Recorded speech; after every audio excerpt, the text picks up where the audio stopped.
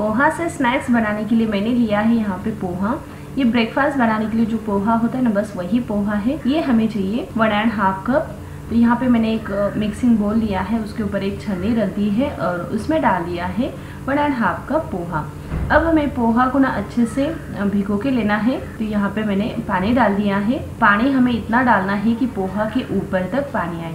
तो इसी पानी में ऐसे ही हम तीन मिनट तक पोहा को रख देंगे। तो ये देखिए, तीन मिनट तक मैंने पानी के अंदर ही पोहा को रख दिया था। पोहा हमारा अच्छे से सॉफ्ट हो गया है। तो इसको हमें पानी में से निकाल के लेना है। इसको पानी में से निकाल कर दूसरी एक मिक्सिंग बोल में ट्रांसफ़र कर देंगे। इस टाइम ना पोहा में बिल्कुल भी पानी नहीं होना चाहिए, नहीं तो पोहा ना चिपचिपा हो जाता है।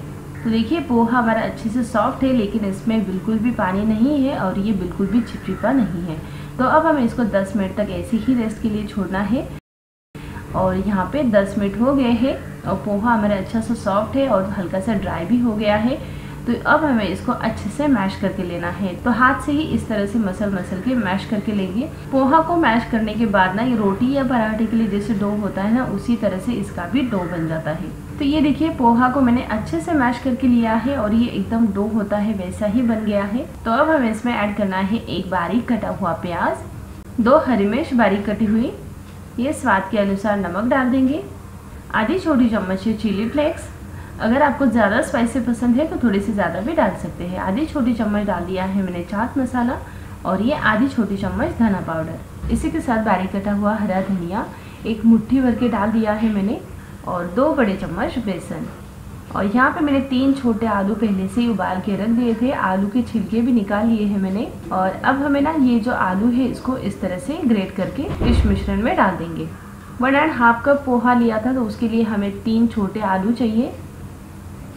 तो ये देखिए, तीनों आलू को मैंने ग्रेट करके इसमें डाल दिया है। तो अब हमें ना इस मिश्रण को हल्के हाथ से मैश करते हुए डो के जैसे बना कर लेना है। तो ये देखिए, एक मिनट के अंदर ही ये सब मिक्स हो गया है और ये बिल्कुल डो होता है, वैसे ही बन गया है। तो अब आप इस डो में से जो भी शेप का आपको स्नैक्स पसंद है, उस शेप का बना सकते हैं। तो या तो गोल गोल पकौड़े की तरह भी बना सकते हैं कटलेट की तरह भी बना सकते हैं, या फिर स्क्वायर शेप में भी बना सकते हैं। तो बस इसी तरह से मैं सारे स्नैक्स बना के लेती हूँ। तो ये देखिए, हमारे ये जो स्नैक्स है फ्राई करने के लिए तैयार है। तो चलिए, अब हम चलते हैं गैस की तरफ़। तो तेल हमारा गर्म हो गया है, एकदम धुआंधार गर्म नहीं होना चाहिए तेल, और गैस की फ्लेम भी लो है। इस स्नैक्स को हमें लो फ्लेम पे ही फ्राई करना है।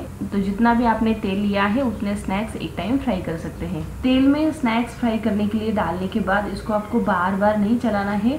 तेल में डाल देंगे ना, उसी टाइम इसको उलट पलट करने के लिए जाओगे तो ये पूरा स्नैक्स तेल में ही खराब हो जाता है मतलब टूट जाता है। तो इसको ना तीन से चार मिनट तक या फिर हल्का सा कलर चेंज होने तक ऐसे ही छोड़ देंगे। फिर ये देखिए तीन चार मिनट तक लो फ्लेम पे मैंने इसको ऐसे ही छोड़ दिया था। हल्का से इसका कलर चेंज हो गया है। तो अब हमें इसके साइड्स फ्लिप करने हैं। तो आप झारे से या फिर इस तरह से कांटा चम्मच जो होता है, उससे भी फ्लिप कर सकते हैं।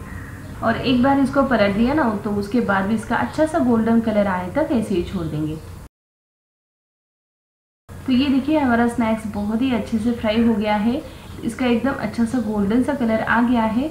इसको मैंने स्लो फ्लेम पे पाँच से छः मिनट तक फ्राई होने के लिए छोड़ दिया था। तो चलिए, अब हम इसको निकाल के लेते हैं। इसको निकाल के सेम प्रोसेस के साथ दूसरी बैच में फ्राई करेंगे। ये देखिए, हमारा पोहा से बना हुआ बहुत ही क्रिस्पी और टेस्टी स्नैक्स तैयार है।